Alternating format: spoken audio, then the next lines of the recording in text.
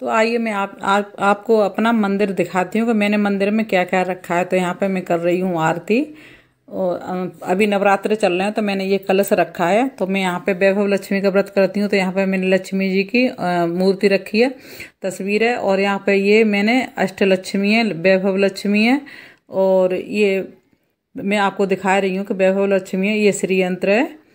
तो आप ये सालग्राम है आप इस तरीके से अपने मंदिर को सजा सकते हैं, रख सकते हैं। और ये चांदी का सिक्का था, ये चांदी की गाय है। और ये लक्ष्मी गणेश हैं, ये सबके घर में होने ही चाहिए। ये चौकी पे मैंने अलग से बिठा रखे हैं। बहुत सुंदर मैंने अपना मंदिर सजाया है। तो देखो, इस तरीके से आप रख सकते हैं अपने मंदिर को। तो यहाँ पे मैं कलश दिखा रही हूँ। और ये ये यहाँ पे अन्नपूर्णा है ये शंकर जी हैं।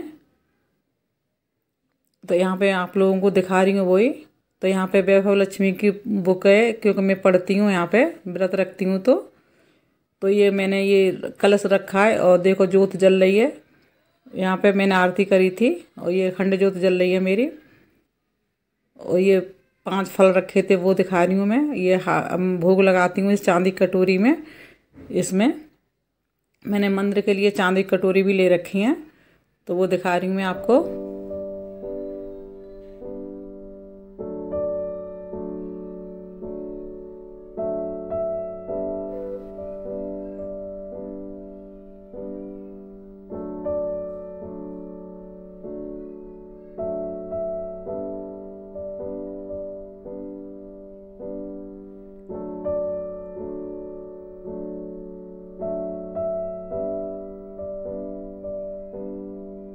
इस तरीके से आप अपने घर में ये मंदिर सजा सकते हो, ये रख सकते हो।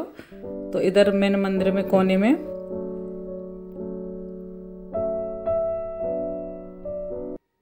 तो यहाँ पे ये दुर्गा सप्तती की बुक पढ़ती हूँ मैं रोज अभी। तो वो रखी है, ये कछुआ रखा है कांच का, ये कलश है चांदी का, और इसमें चांदी की चम्मच डाल रखी है मैंने, और ये पान का पत्ता तो ये हनुमान जी हैं, और ये विष्णु भगवान लक्ष्मी जी हैं। ये मैंने चांदी का स्वास्थ्य रखा है अपने घर में। और ये कन्हैया जी हैं, गोविंद। इनकी पूजा करती हूँ। इनके पास भी एक चांदी कटोरी है, इसमें मैं भोग लगाती हूँ कृष्ण भगवान को। तो इस तरीके से अपना मंदिर सजा सकते हो। और ये चीज़ मैं आपको दिखा रही हूँ। कई कमेंट आ रहे थे कि अपना मंदिर दिखाइए। तो मैं आज आपको मंदिर दिखाती हूँ। देख लीजिए, मेरा मंदिर